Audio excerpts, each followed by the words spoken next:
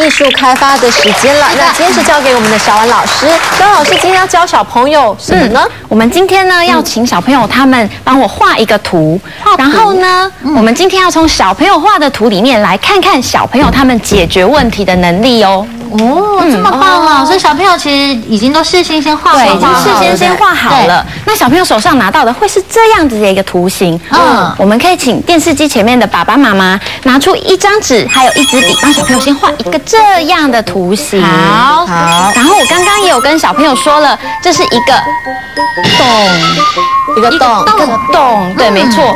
然后呢，有一个小白兔，它必须要从 A 跑到 B，跑到 B，它要怎么过去呢？我要请小朋友帮我想办法，想想看怎么从 A 到 B。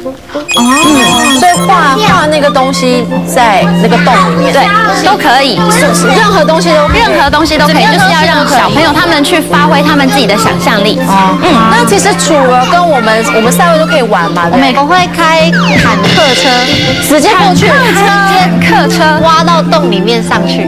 挖到洞里面要再上来，对，因为坦克车它其实可以随着那个坡度的上下可以移动。所以是让小兔子过去嘛。嗯，对，兔子开坦克跳过去可以，你也可以把，你也可以把它想象成是你自己怎么从 A 到 B 啊，过去。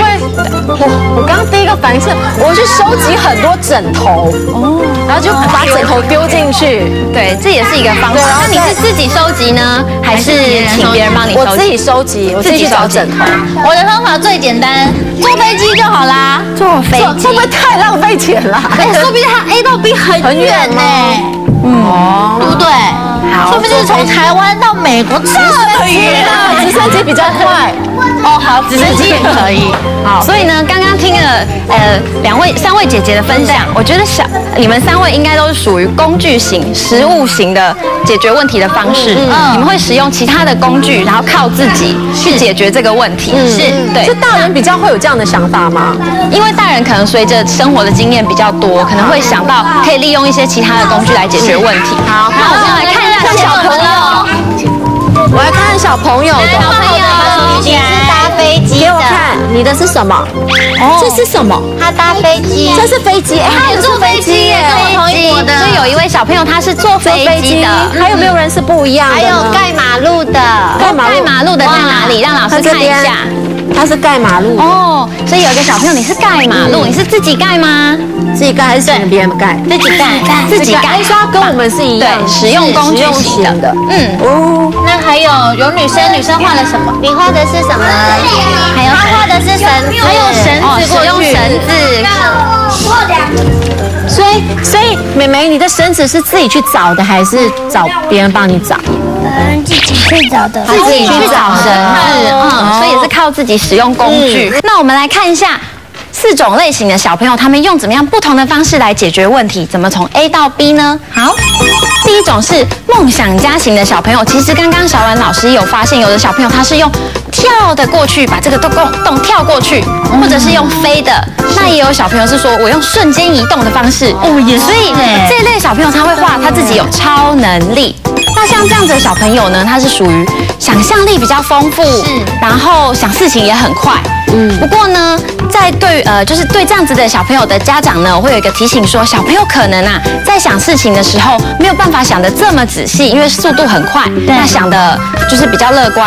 所以呢，爸爸妈妈可以多提醒小朋友速度慢下来，然后呢，我们想事情之前呢，考虑一下，现在你做这件事情，等一下会发生什么事情，让小朋友知道前因跟后果。后果对，那像这类小朋友就是这样。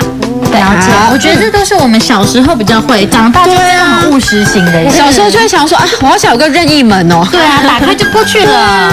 对，好，那我们来看一下第二类的小朋友是务实型的。是我发现呢，在现场很多小朋友，还有三位姐姐都一样，是属于务实型的小朋友。对，你们会使用工具，然后靠着自己做桥啊，做马路啊，对不对？然后跑到对面去。对，像这一类的小朋友呢，思考会思考的比较多，那想呃想事情呢会比较仔细。那不过呢，像这一种的小朋友，这类的小朋友会提醒爸爸妈妈呢，可以练习说让小朋友多跟其他人的互动，因为他们可能很多事情会想要靠自己，对自己去找工具啊，所以刚刚小文老师才会问大家说，你是自己去找这些工具的吗？对，因为小呃会希望提醒爸爸妈妈，就是帮着小朋友去跟别人做一些互动。嗯，了解。好，那我们看第三种第三类型，嗯，第三种类型是社交型，今天还好像还没有看到的小朋友是这个类型。就是找了很多朋友来对，帮忙。他会呼朋引伴，找很多很多的小朋友来帮忙，说，哎，来帮我一起搬石头，帮我一起把这个洞填满，嗯，就可以过去了。有没有小朋友会做这样子的事情？有吗？有一个举手，有有一个小朋友，对不对？他说：“哦，我刚刚想到，我可能也会做这样子的事情。啊，好棒！有好几个小朋友举手。